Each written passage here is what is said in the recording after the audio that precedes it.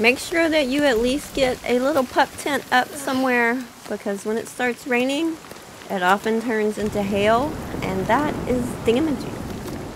Ow. The simple workbench, which takes 10 wood bundles and 4 plant fibers. It has two augmentation slots that you don't learn about right away. And look at all of the valid augmentations. These are all things that can be built on to add additional use to your workbench. There's a lot of them. So when I say leave room for building the augmentations for your workstations, I'm not kidding. There's a lot of them. And of course, the campfire, which also can be augmented and it gives you warmth and well lit. Then also look down in the bottom right corner, these cards, it will tell you when you build this, it grants the following recipes. Healing salve, mixed plants, roasted berries, roasted meat. Those are the ones that we have so far based on what I've built in the game at this point. The simple tanning station can give you animal fiber, chitinous bone, chitinous hide, felt, leather, and straps. So these are going to be things that are going to help you to be able to make better gear. And the recipes for the workbench are many. And these will continue expanding as you add more augmentations. When you speak with your first essence trader, they'll have different recipes available. These are blueprints to be able to make things. You're not actually buying the thing itself. It's the crafting recipe. If you didn't find one on your way here, you definitely want to get the simple umbrella because when rain turns into hail and you're not under shelter, it can be deadly. The simple hammer is also a really good one to buy because it helps you to keep all in good repair because your structures will deteriorate over time and you're going to need to repair them before they fall down, preferably. There will be realm cards for sale.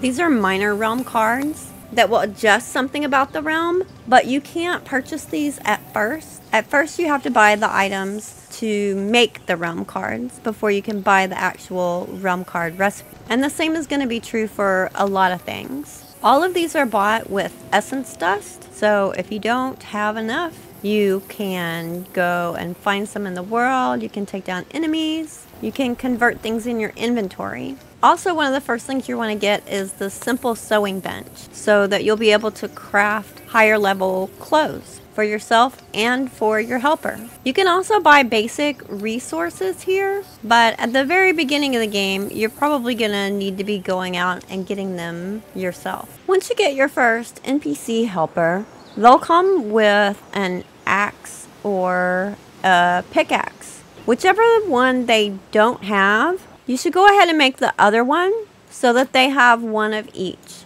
That way, they can help you with whichever task you need done. Right now, Adeline has a wood axe. I gave her a mining pick. I can right click and say equip and now she'll mine stone for me instead of cutting down trees. Or if you have NPCs in an area where you don't want all the trees cut down, take away their axe. You can go ahead and go to the first Antiquarium site of power, but you won't be able to go through the gate unless you have gear that is strong enough to allow you to walk through.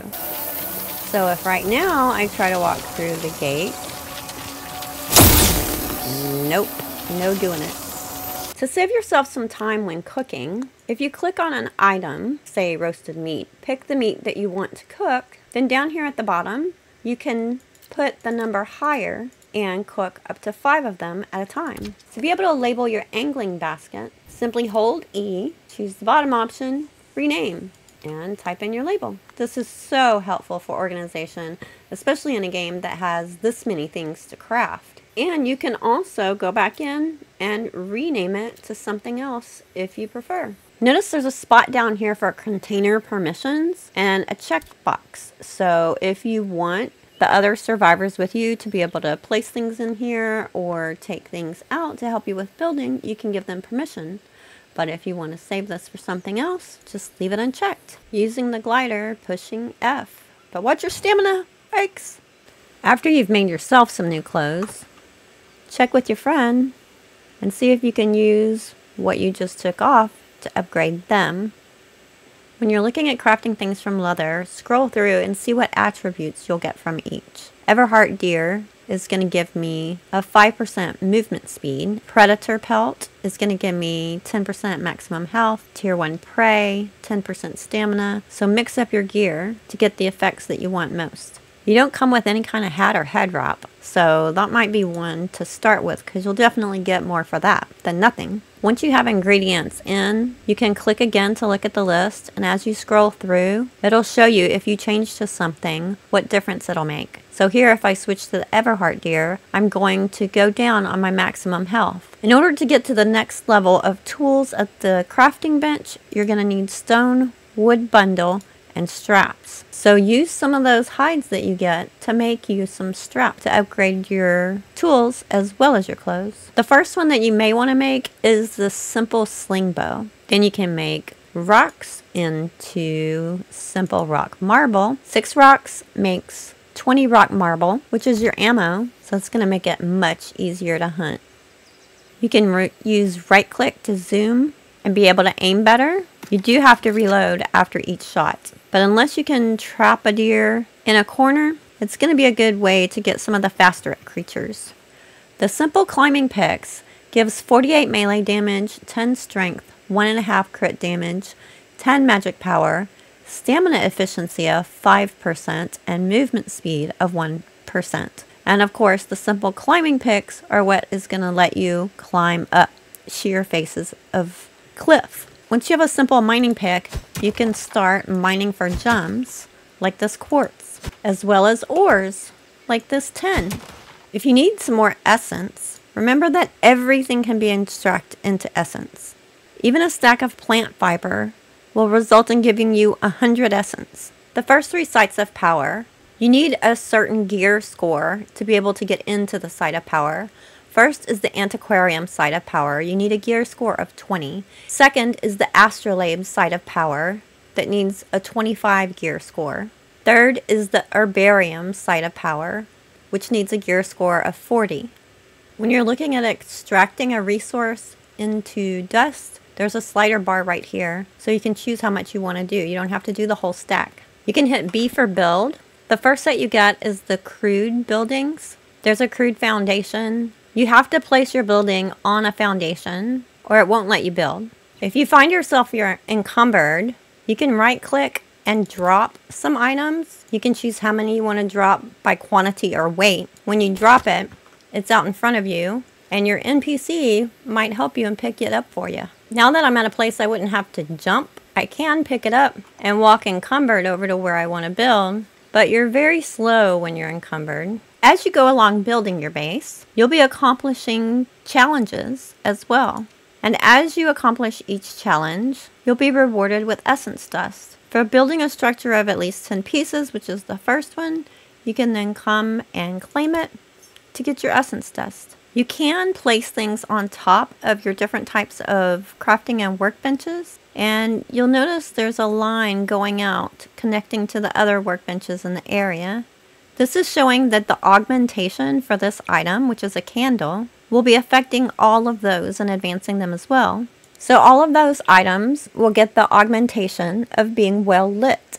When you're looking at any kind of crafting bench, there are two boxes up here that you can choose from to show only craftable and to show unknown. So these are recipes that can be made at this level of bench, but that I don't have the recipe for yet because these take refined fiber, and I haven't made refined fiber yet, but it tells me it's fiber that has been further processed in order to use for clothing. So I can look at it in this way to find what item it is that I need to work for next in order to upgrade to the next level. If you want to edit or move something that you've placed down, you can hit X and you'll see directions of what you can do on the right. V will remove the item and circle to give you time to confirm. Doing it this way gives you the full amount of resources back. You don't have to be in build mode first. You can just hit X to go into this editing screen. If you want to move it a bit, you can point at it, hold R, and then adjust where it's sitting, rotate it however you want, and then put it back down. You can also point at it and hold Q for copy. if you'd like to have another one. Ta-dum! If you have a lot of baskets sitting on top of your crafting table, you can still point underneath them to be able to craft items. The smelter is quite small, so it's easy to place it in your base. It uses the same type of fuel as the fireplace. You can also turn it off if you're not going to be using it to save fuel. As you're going through the game, remember to look in your journal every now and then at challenges and you'll notice all these different challenges, and some of them will have check marks beside them. Whenever you accomplish something and a little thing pops up saying you got this challenge done, then there will be a reward for that challenge. Oftentimes, it's essence dust. Sometimes it's something related to the challenge, like a curative potion for combat. The higher that you get in the challenge that you completed, the better the reward will be. Relaxed is kind of like a state of rested. Your rate of stamina and health regeneration are increased. The comfort of a soft bed rejuvenates you and leaves spirits high until you rest again. And even as it starts ticking down, if you do a short rest, it starts all over again. So you can get a fresh one before you take off on your next journey. Whenever you come upon a random POI like this that has some Fae chests around it seems to always have two. So make sure you look everywhere. Release Hope Echo. Simple umbrella. I should be able to repair my umbrella now, which is nice. It is nighttime and I am far from home, but I'm also far from my destination. I'm going to go in this little alcove of this puzzle that I beat and set up a bed to sleep through the night. I'll even put down a campfire so I can get a better night's sleep. I'm going to have a long rest. Now my rested buff, I'm all fed up. Time to go.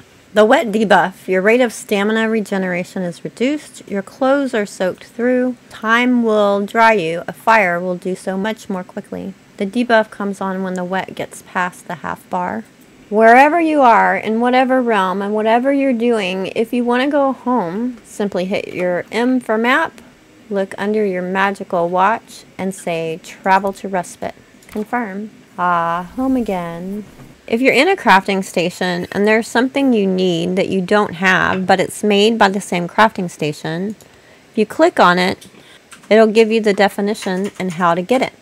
I got my first T1 essence, 20 of them actually. So that's going to let me make the next level of crafting stuff that I need to upgrade things. There is so much stuff to learn and do, and this is just the beginning.